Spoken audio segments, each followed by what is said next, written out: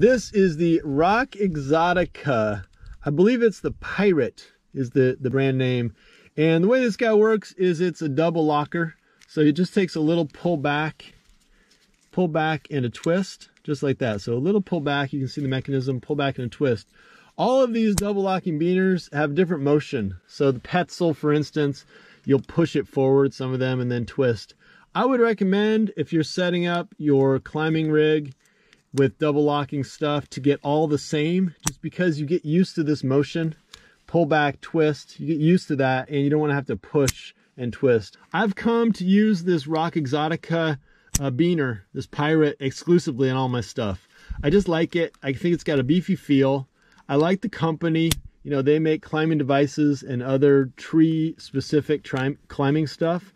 And I just like this biner. It's never stuck on me. Some of these double locking biners, uh, I can't do it here, but they'll kind of twist a little bit prematurely and they'll get stuck or they won't close.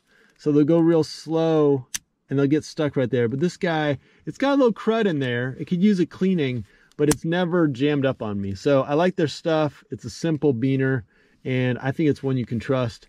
I believe as far as the rating goes, it is 12 kilonewtons this way and 26 this way, which is pretty standard. I feel like almost all uh, biners are pretty much in that range. Uh, six kilonewtons against the gate this way to keep it from busting open, which, you know, if you look up kilonewtons, I think that is almost a thousand pounds, something like that. So I'm not worried about the gate popping open. You can see that it's a little bit offset. So when the gate comes back, see that? It's a little bit offset.